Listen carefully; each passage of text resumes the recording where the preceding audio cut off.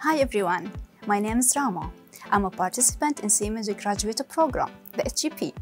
The SGP is a two-year training program that offers its participants the possibility to experience three various challenging roles with the three different assignments.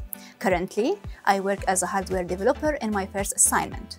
Today, I'm taking you with me throughout a regular working day at Siemens.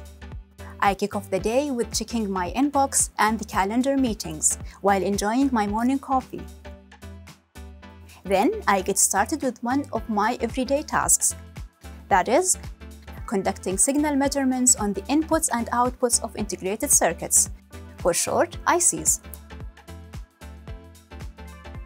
Usually, I repeat the measurements on alternative ICs after replacing them with the already existing ICs. After that, I analyze and compare the measured signals to qualify the alternatives.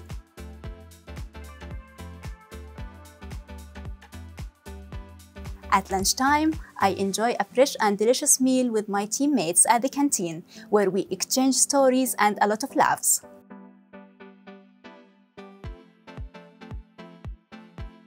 The afternoon is a right time to work on another task, that is, conducting an electrostatic discharge ESD test on the under development new generation of SIMATIC S7 controller.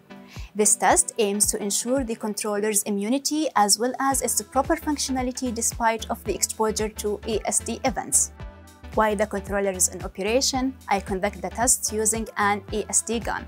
If the controller continues to operate smoothly, its immunity against those ESD events is confirmed. After a day full of interesting challenges and knowledge gaining, it's time to wind up the day with a good workout session in the gym of Sportgemeinschaft Karlsruhe that is located at Siemens site. Working at Siemens as a hardware developer provides a work-life balance.